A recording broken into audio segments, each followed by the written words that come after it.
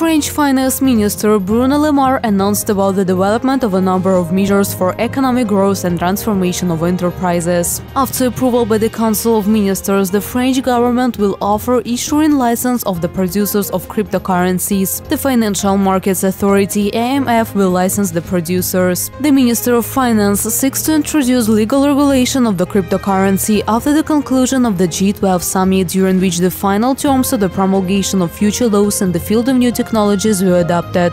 However, the Central Bank of France urged financial institutions to refrain from any activities related to the cryptocurrency. Only time will tell whether the historical link between the words France and revolution will play for the benefit of technological progress in France.